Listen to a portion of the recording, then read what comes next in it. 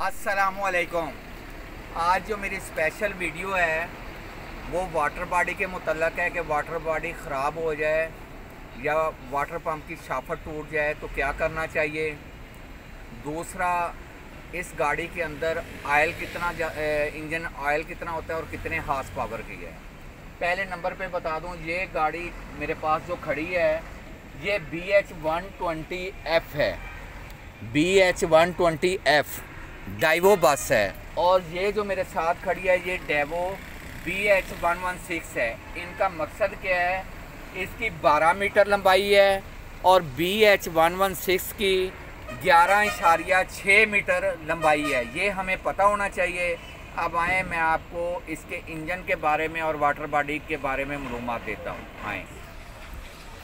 अब ये मैं Daewoo B H one twenty F के बैक साइड पे खड़ा हूँ। इसका इंजन डोर हमने किस तरह खोलना है? और इससे पहले आपको एक चीज़ बता दूँ, हर गाड़ी की बैक साइड के दोनों साइडों पे लॉक हैं। ये लॉक इसलिए लगाए गए हैं कि चाबी के साथ लॉक कर लें आपके इंजन के साथ कोई छेड़खानी ना करे, आपकी गैर मौजूदगी में। अब ये इंजन डोर किस तरह खोलना है? दोनों हाथों को बराबर हाथ लगाना है। एक बाई टांग आगे रखनी है, दाई और इकट्ठे ज़ोर लगाना है। ये दोनों साइडें ऊपर आनी चाहिए। ठीक है जी? अब सबसे पहले आपको ये बता दूँ, ये डेवो बस की वाटर बॉडी है। ये वाटर बॉडी है इसकी, जिस भाई को नहीं मालूम, ये बता रहा हूँ। उसके बाद सबसे पहले आपने फ़ैन बेल्ट चेक करने क्या मेरे फ़ैन बेल्ट बिल्कुल सारे ठीक हैं? ये यकीन हो गया, गाड़ी टेम्परेचर ले रही है। सबसे पहले आपने ये काम करना है जी कि वाटर बॉडी को हाथ लगाना है।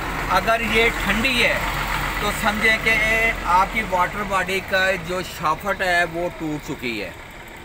अगर ये गर्म है, हाथ नहीं लगाया जा रहा तो आपकी वाटर बॉडी जो है, वो बिल्कुल ठीक है। अगर आपकी वाटर बॉडी सही काम कर रही होगी तो ये ऊपर वाला पाइप देखें। ये पाइप देखें आप, ये गर्म होगा। और ये नीचे वाला पाइप देखें, ये बिल्कुल ठंडा होगा। ये पाइप बिल्कुल ठंडा होगा और ये पाइप गर्म होगा।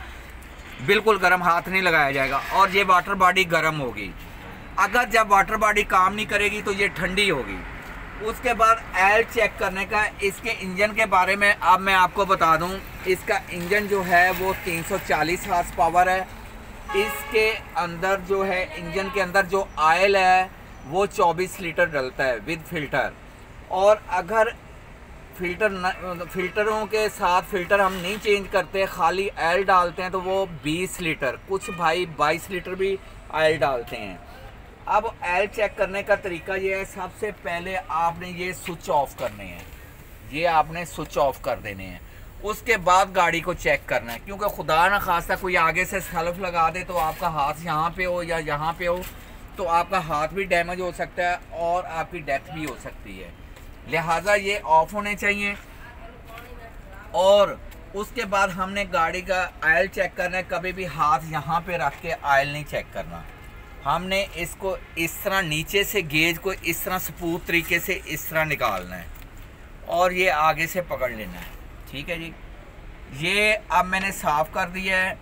अगर यहाँ तक दूसरे पॉइंट तक आयल होगा तो पूरा होगा। इस पॉइंट तक आयल होगा तो आपका तकरीबन दो से ढाई या तीन लीटर आयल कम होगा, इस सुराख तक, जो पॉइंट मैं बता रहा हूँ।